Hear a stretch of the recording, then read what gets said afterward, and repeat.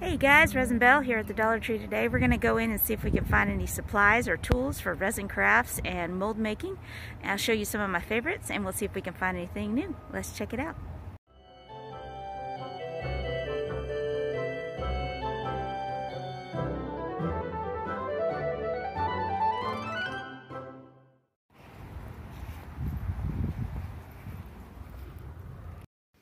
First up is resin craft supplies. Okay, a long-handled ladder is perfect for popping all those uh, nuisance bubbles that come to the top, and some shorter ones too. And in the crafter square section, you'll find a package of 100 popsicle sticks that are perfect for mixing your resin. Don't forget to look in the party goods section. You'll find these miniature spoons that are great for dipping out uh, glitters and mica powders, etc., or for mixing sticks, and a lot of other uses. Now heading down the home goods aisle, you'll usually find these little hang tabs somewhere on the aisle. And on those hang tabs, you're going to find these travel dressing containers.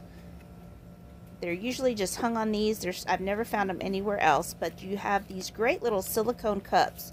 You just pop that plastic piece right off the top, and then you can use a pair of scissors to cut along the top of the container, and you have a great little silicone mixing cup for different colors of resin Granted, you can get them cheaper online, but if you need one in a crunch, you can find them at the Dollar Tree. So in the kitchen gadgets area, you'll find these great plastic mixing cups. Apparently you can mix resin in these, and once it hardens, it'll just pop right out of the bottom and you can reuse it. Also in the kitchen gadgets area, you'll find these really short, kind of miniature silicone spatulas and spoons. These are perfect for mixing up larger batches of resin and reusing because once the resin cures, it'll just peel right off and you're good to go. Over on the beauty aisle, you're going to find these really cool little um, silicone facial mask applicators. They have this kind of curved edge to them, but if you take a pair of scissors and you cut right across the top, you have a nice flat surface for smoothing on resin on different applications. And don't forget while you're there to pick up some of these small emery boards for sanding your resin. In the cleaning section, you'll find some uh, latex or nitrile gloves. They're out at this particular store, but you can always use kitchen gloves in a pinch to protect your hands from your resin. And you can grab a bottle of baby oil to fill your resin shakers. That's uh, a great price. Did you know you can get mica powder at Dollar Tree? Check out these LA Colors loose eyeshadows. These little pots have a little stopper in the bottom that you can pull out and you can dump that powder into another container and it works great for coloring your resin. Speaking of coloring resin, you can get these six-piece glitter colors in the Crafter Square section. Usually there's different, uh, different sets of colors, blues, reds, etc. It's a great price for a lot of different colors of glitter.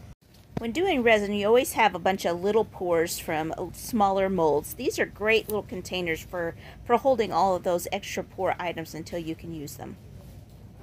And who doesn't need cotton balls and cotton swabs for cleaning up those small messes that we always make when we're resin crafting? Okay, back in the baby section, I always got to get a package of my number one thing while resin crafting, baby wipes. Always have baby wipes on hand to wipe up small spills. Moving on to silicone mold making supplies. Back over in the home goods section, all these little thin plastic containers are great for making housings for your silicone mold making.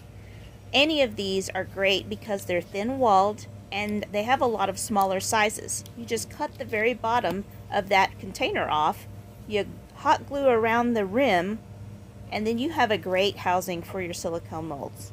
Perfect sizes, every shape and size you can think of. Back over in the kitchenware section, I found something that I haven't seen before. These little Betty Crocker clear uh, measuring cups with the little spouts. I am going to pick up some of these for mixing smaller amounts of, of silicone for making my silicone molds. I love the fact that the, the uh, measurements are printed on the outside so the inside of the measuring cup is nice and smooth so you don't lose any of your silicone and mixing is thorough.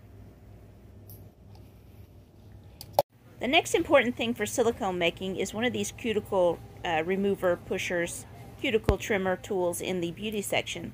Very handy for trimming any excess uh, materials off the edge of your silicone mold, as well as other handy tools. And the last thing we found is some treat bags. These are great for storing your molds in. It's great for having on hand. If you if you make molds, you can ship them out in these.